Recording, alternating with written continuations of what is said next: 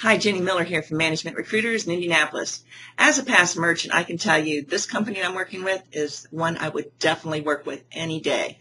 They are very exciting. They're, they're in double digit increases right now, and they are looking for multiple merchants because of the expansion of categories within their business. They're well known for their jewelry, accessory, handbags, footwear, and apparel.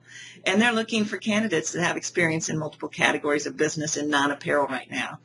If you're an experienced merchant in private label, vertical retail businesses, and you're looking for an opportunity to work with a company that's very entrepreneurial in spirit, then this one's for you.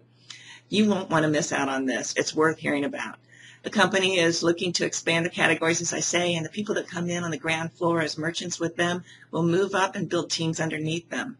It's a very exciting time with a very exciting company.